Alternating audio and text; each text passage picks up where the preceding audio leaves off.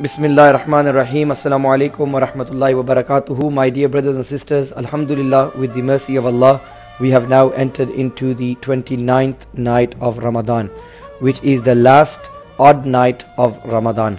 May Allah Ta'ala make this night a night of forgiveness for each and every one of us, a night which could potentially be Laylatul Qadr.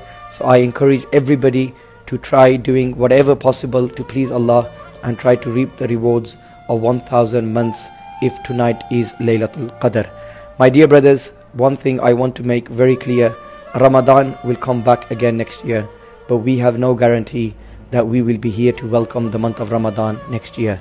So, these last few moments of Ramadan, I encourage and request everybody to do whatever possible in pleasing Allah subhanahu wa ta'ala and reaping the beautiful blessings and bounties that Allah has bestowed in these last few nights of Ramadan. Allah Ta'ala accept all our efforts and everything that we have done in this month. May Allah guarantee it acceptance. Inshallah Azza wa Jal. Please remember me and my family in your special du'as. Assalamu alaikum wa rahmatullahi wa barakatuh.